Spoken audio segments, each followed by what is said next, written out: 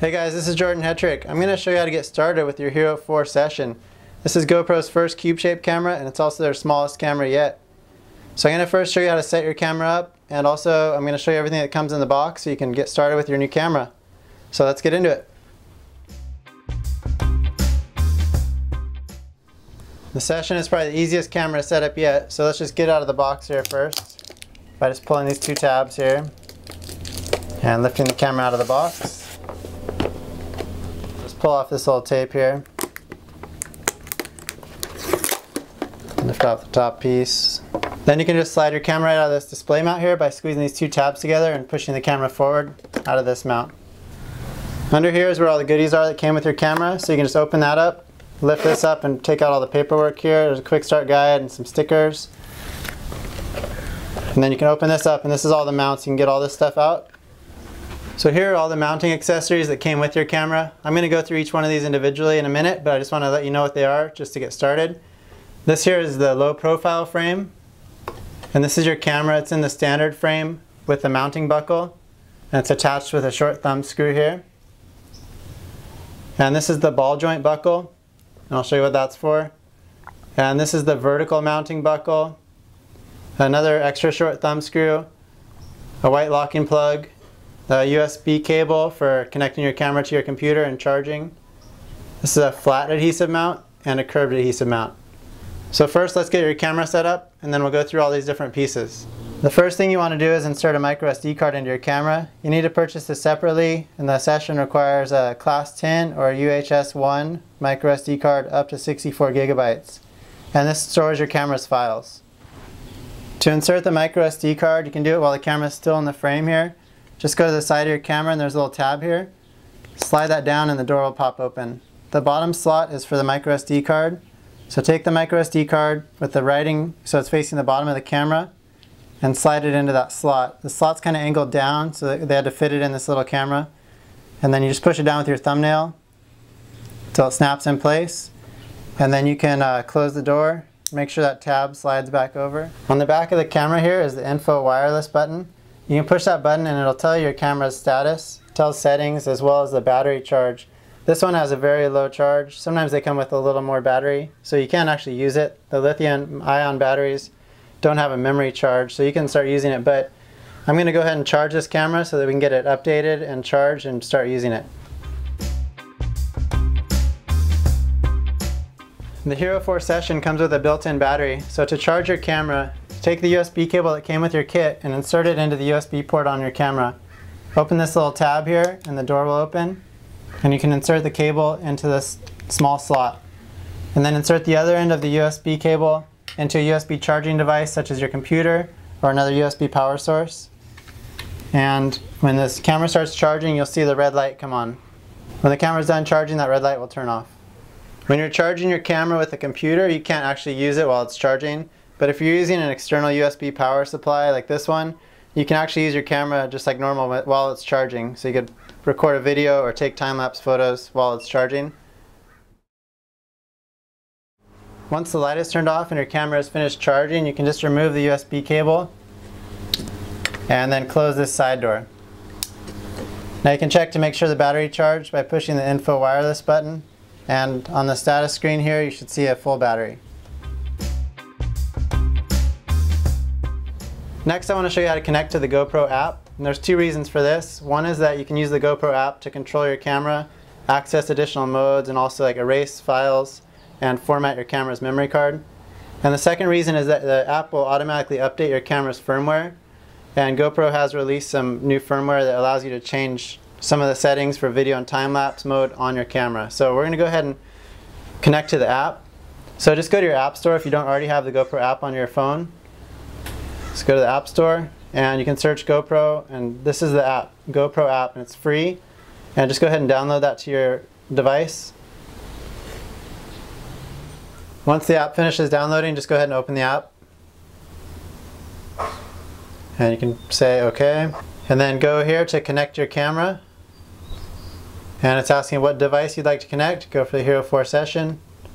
This is the first time you've connected it, yes. Now it says cycle the wireless control menu on your camera and select app, then tap continue below. So grab your camera here, push the back info wireless button. Push it again, and you'll see select wireless control app. Push the top shutter button to select and go into pairing mode. And then push continue on the app here. Now it's giving you a pin code here. So enter that pin and click pair. So go ahead and give your camera a name. Let's call it my session.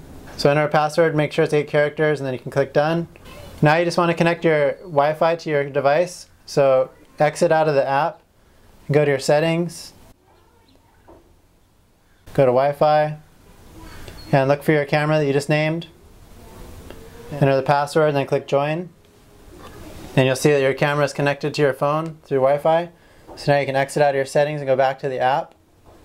Click on the app and tap on your camera here, my session. So now it's connected. If it doesn't connect automatically, just tap on it, it'll connect. So now tap on it and it's going to open up the dialog. And it's saying a camera update available.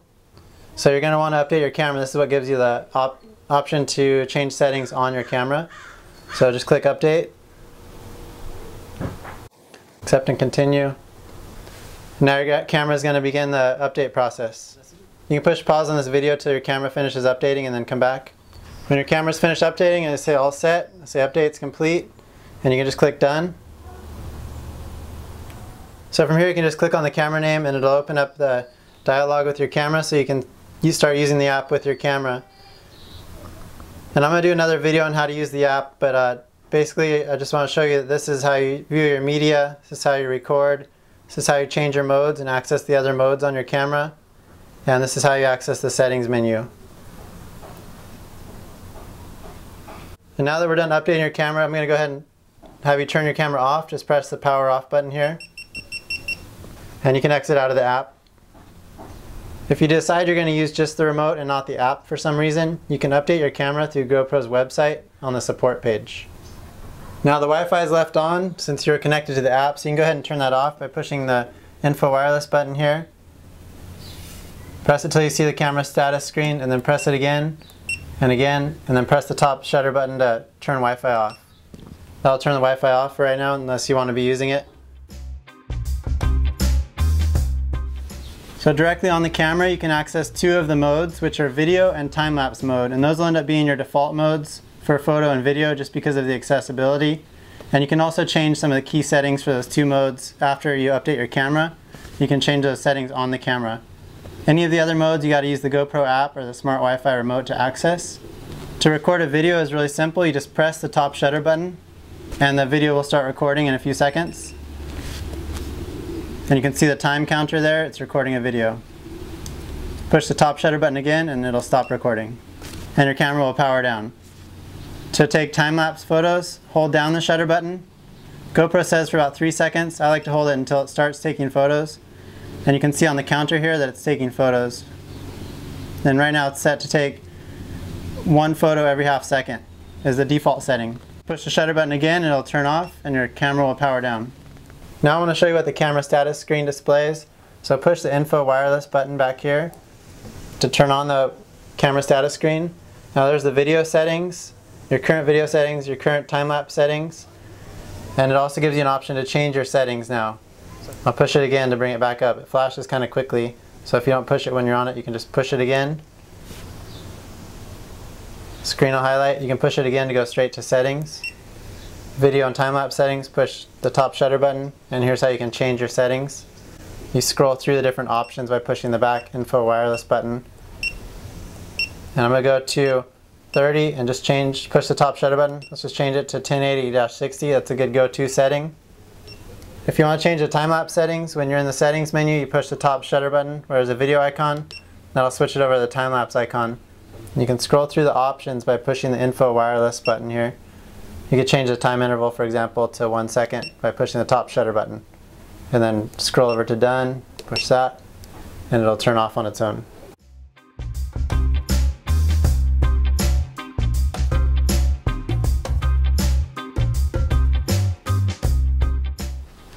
Now let's go ahead and take the camera out of the frame. Uh, you can remove this little tab here, it says remove. That was just for packaging so that it didn't tilt backwards in the packaging. So just unscrew the thumb screw here. It can be a little tight at first when they package it. Then this little piece will just slide out. And you can just get rid of that. You don't need that for anything. And you can go ahead and put the thumb screw back in. Screw that on. And to remove the camera from the frame, you just lift this little tab on the side here and that loosens it and then you push the camera forward and slide it right out. So this is the session camera all by itself without the frame. Uh, it's really cool little camera that it's waterproof all on its own so you can just grab it and you can go. It's always ready to go in the water. The session comes with two frames to hold your camera so you can mount it. This is the standard frame with the mounting attachment on the bottom and the low profile frame with the mounting pieces on the back. To insert your camera into the frame, you just slide it in backwards and close the latch. It's real simple.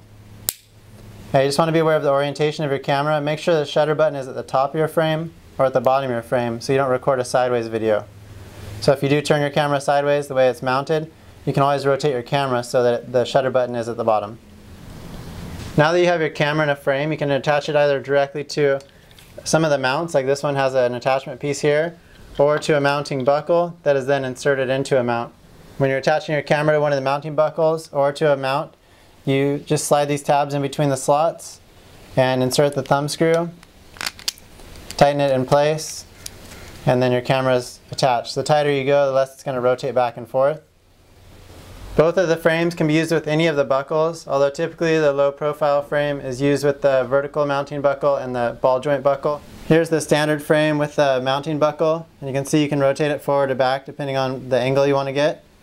Here's the low profile frame with the vertical mounting buckle, and you can see it's a real low mounting setup. And you can also flip it 180 degrees, which is really nice for different angles. Uh, here's the low profile frame with the ball joint buckle. The ball joint buckle allows you to make small changes in the camera's angle to adjust horizon. You can also flip the camera backwards like you did with the vertical mounting buckle. There's really so many mounting options with these frames and the buckles. Uh, cover more of them in my books. It's a little hard to cover all of them in this short video. So you can check out my book if you want more ideas and inspiration on how to mount your camera. Another thing to be aware of is that the session, like all the other GoPros, doesn't float which can be kind of cool if you set it on the bottom of the pool or something for a cool angle, as long as you know where to find it. But if you're worried about it coming off in the water and sinking to the bottom, then the GoPro made this floaty, which helps it float. And you can just insert the whole frame into it. You kind of just wedge it into there. It works with both of the frames, and that way your camera will float if it comes off in the water. Your camera also comes with two adhesive mounts. This is the flat adhesive mount with the rounded corners and the curved adhesive mount with the square corners. And the flat adhesive mount just means that it's flat on the bottom so for adhering to flat surfaces. And the curved adhesive mount has a curved bottom which is better for mounting to a helmet or other curved surface. These mounts are good for adhering to semi-permanent locations where you want to have a mount set up and an easy spot to slide your camera in. Once you've let the mount cure and you've got a strong bond on the surface, you can insert your camera. I've got the low profile frame here on the vertical mounting buckle. And the vertical mounting buckle and the ball joint buckle both have these locking plugs attached to them. So you just need to lift that up before you insert it. Slide the tabs in to the mount and slide it all the way in until it clicks in place. I'll rotate the camera back so you can see.